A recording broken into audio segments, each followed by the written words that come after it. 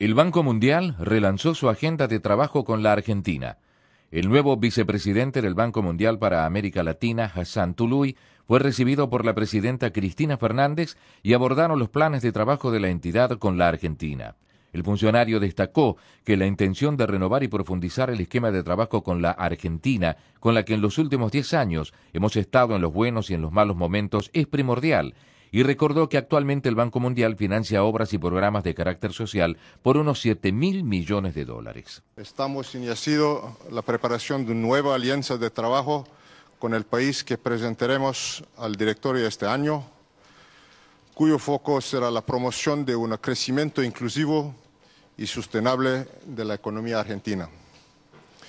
En los últimos 10 años hemos estado al lado de Argentina en los malos y buenos momentos, implementando un programa que es innovador y se enfoca en crear oportunidades para todo.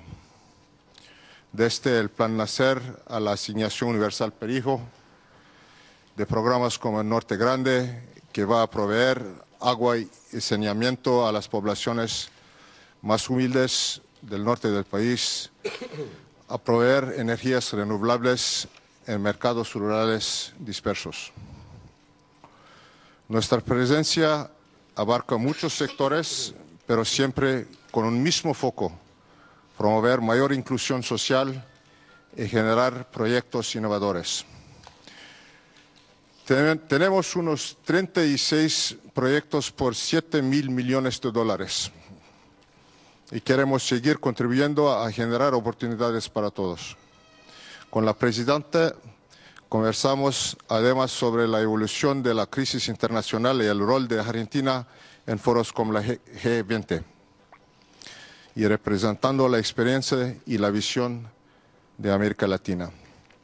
Finalmente, hablamos sobre la posibilidad de compartir la experiencia de Argentina en el desarrollo de programas de reducción de la pobreza con otros países de la región y el mundo. Por ejemplo, Nicaragua está interesada a conocer la experiencia de Argentina con el Plan Nacer y Egipto fue un país que implementó un programa similar. El Banco Mundial puede contribuir a facilitar estos intercambios de experiencias sur-sur. Este fue una visita corta para conocer a la presidenta y espero volver a Argentina pronto para visitar algunas provincias y ver algunos de, los proyectos que el Banco Mundial desarrolló en el país.